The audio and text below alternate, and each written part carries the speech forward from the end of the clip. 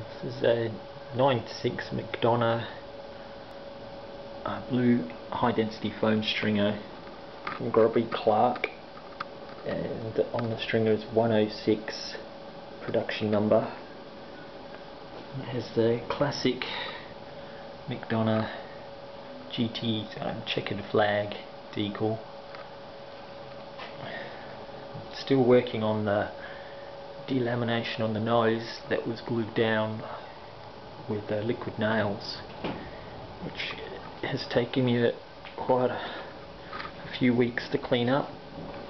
And now it's clamp down time and I've used a boogie board foam so that I can uh, really put some pressure on the clamps to hold that delamination down which if you saw the other uh, photos or a video it was for about two feet of the nose.